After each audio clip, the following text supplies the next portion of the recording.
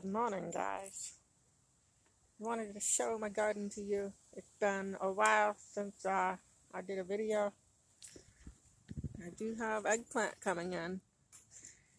It's kind of not the best time since it's going to be uh, a frost soon, but I'm happy for whatever I get. The garden here is really starting to slow down. Um, I still have a few things growing. Not a whole lot, but I've got this spaghetti squash. I put tulle around it to stop it from, keep the squirrels off of it. That helps. I got another one down here. They took a big chunk out of it. And uh, it's still edible, but I'd have to cut that part off. So anyways, that's what I do to keep the squirrels away. Seems to work. I have lemon balm growing here. I've had a lot of lemon balm growing. I've dried some, stored it away for the winter. I still have other little um, eggplants. You can see that it's getting ready to flower. I don't know how far I can get this plant to grow, but that's okay. Uh, pumpkins in general were a huge disappointment. I just did not have enough, I'd say, compost in the soil. This year, this entire thing should just get ripped out. It's completely dead. I will try again next year, and hopefully it will come out better. This year is just a cherry tomato. It's huge. They all do that. They get huge. They're like climbing vines. They should be strung up sometimes I just don't have it set up the way it should. I set up a teepee down on the other part of my yard for the same reason, just setting it up and put it up off the ground. This year is just the remnants of my poor zucchini. It's just not doing great anymore. And I had a bad time with the vine borers. A real bad time. Here I've got my more uh, mango coming up it's not really a good place for it to grow, but hey, it's kind of cool to see how well it's doing. My very late planted corn, itty bitty baby ears. It was a fun experiment, but I would definitely plant that earlier next summer instead of June, mid-June. That was not good. So anyways, I have tons of tomatoes. As you can see, I have no shortage of them. The broccoli, I believe, that is just very badly eaten. I never did uh, cover this one up, but that's okay. I could always just take the whole thing down and save all the leaves and eat that. The leaves are just as good as the flowers, of course. So many nutrients and vitamins. Let's see. I have a third eggplant here. As you can see, last night we just got our pine needles falling everywhere. So the ground is just covered.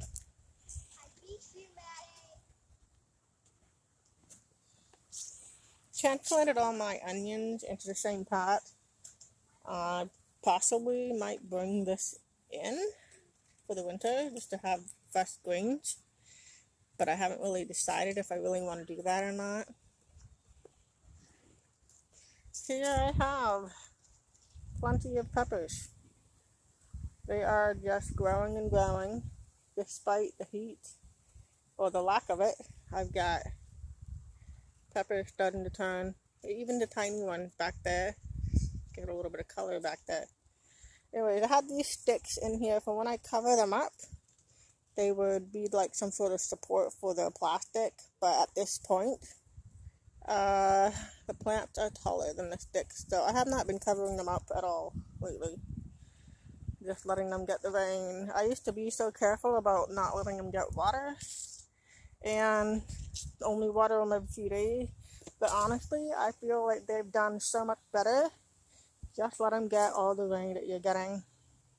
Unless, of course, it's more than an evening of rain or more than more than a day or whatever, you know. I mean, they obviously they're fruiting. They need water in order to uh, create the fruit. So that I have been very happy with. I'm very, very glad for that experiment. This here is a regular pepper. This year is the, see the variegated leaves, the um, candy cane peppers. I am overflowing in tomatoes. Mostly cherry tomatoes. They came up in my compost here. I've got Romas, they're not quite ripe. Slicing tomatoes back here. You see some weird stuff happening. I've never seen this one before. It looks like something came and ate a hole in there. But yeah, I've been picking off the yellow leaves lately. I've seen more now. Cucumbers are about done. If you look in here, I really should just pick that off and pull the whole vine down. It's like, and it's dying stages. But um, tomatoes are still, you know, going strong. Um, they take forever to ripen when they're this kind, the slicing kind. Oh, oh, that's not good. Some, uh, we got a lot of rain yesterday, so it probably split that open. My beautiful green beans still going strong. You can see them. Look at those beautiful little flowers. Lots and lots now. I haven't been picking in here for a good week. Just because there was nothing. There's just only flowers. Nothing for picking. So I cleaned it out pretty good. I have been going through and picking out these leaves. They just fall off. They're just ready. See that? I take them off and I throw them in my compost bin. And that helps to create soil. And that's the best way to do it. This is what makes your soil. It's not just composted stuff. If you look out underneath the trees, there's pine needles, leaves, um, that's what that's how you make soil. So it's full of full of nutrients. That's what trees uh, thrive on. I have a new flush of uh, nasturtium leaves. Um, the brand new blossoms coming in. A little bit beaten up from the rainstorm yesterday but it's beautiful, absolutely gorgeous. I would love to see it self seed itself. I have been leaving some of it on just to allow it to uh, see if I can get it to self seed. Here we have this itty bitty tiny tomato here. I was wondering what happened to that. kind of getting mixed in with this one raspberry plant that I have in here. Mugwort Uh, everything's slowly dying down. I did plant some new kale. Just, I will be separating that soon and then planting them individually. I have a little bit of sage, uh, not sage, um, basil left. It's beautiful purple basil. Look at that. So that was fun. I did not grow as much um, basil as I would have liked, but that's alright. You know, it was just a little experimentation with a new type And here, surprisingly enough, I had this random squash or pumpkin come up. I get this itty bitty baby and incoming, um, what do you call it? Frost. I have no idea if this is gonna grow or not, but hey, whatever. Still neat to see. Uh, here is an itty bitty compost bin. I pulled everything out of here I had all my broccoli in there at one point, so I decided I'm just going to start throwing some compost in there. Eventually, I need to take all of my totes um, and store them for the winter, but I'm still growing, so I'm not quite ready for that. Here's just another one of my wild raspberries that I dug up to save them and someday hopefully get some raspberries growing. That would be great. This lovely little uh, stand of tomato plant is still thriving. I see that we had a little bit of damage to my little trellis here that I made. But I've been picking here every couple of days. I go and get a big, huge handful. I'm not quite discovered to figure out what I'm going to do with my lemongrass for the winter. considering the fact that I live in Maine. Um, they wouldn't survive the winter. They really should come indoors. I really just need some type of plate to go under it. I could bring the whole thing in. But, yeah. Tomatoes, my cherry tomato teepee. Still doing alright. It looked awful just because of the dying leaves. But some of these leaves, despite, you know, the coloration or discoloration, yeah, it looked like it's dying. It looked horrible, but some of these leaves are still um, performing photosynthesis for the plant. You cut off too much at one time, the thing will die. I discovered that with the zucchini the other day. I wanted to cut back all the dead stuff and just let the new leaves grow and not just kill the whole plant. And it was already dying, but it was just like too much. Couldn't handle it, you know? So I have a little bit of green bean down along here. Every now and then I find a little handful. If you can look here, got a little bit growing. Not a whole lot. This is about that time that green beans start to really die off. So any minute now I expect a cold snap and it'll be just dead and I'll just pull the whole thing down and compost it. it's absolutely my favorite right here. Look at that. Just love the tendrils and the swirls and the spirals. Look at that, all the way. So beautiful. So um still got calendula growing in here. I harvested a bunch and I'll probably go ahead and make some salve I don't really need a whole lot. I'm not making gifts for people like I used to. If you look here, uh, you got the seeds. And down here too. You wouldn't want to pull these off now to stay indoors because they are still damp. But obviously, you can just drop them into your garden and they will just come up everywhere. I've been doing that. I've been dropping calendula. I've been dropping uh, oh gosh, cosmos. So I should have a lot more flowers next year. I do have a little bit of uh, like arugula growing in here, but it's kind of overrun and crazy looking. Just look down here. There's some of that edible stuff. I literally have basically almost no lettuce. This year is one of the few I have. Some I think this is just weeds, or some people like dandelions, but I'm not that fond of the bitter flavor. It's just not my thing. But yeah, just throw them now and let it decompose. I've got arugula going to seed. I've just been letting them go to seed and dry out at their own time, and it self seeds for me. That's a big help. And of course, more calendula here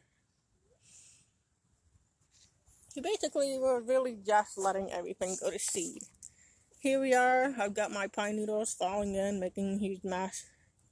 This is just allowing it to go to seed. I have not really been harvesting from here, and as you can see, someone else has been helping themselves. Caterpillars and what do you call them? Grasshoppers. It's kind of frustrating. I'm hoping I have a better setup next year. I'll think of something different. Let's see. What else?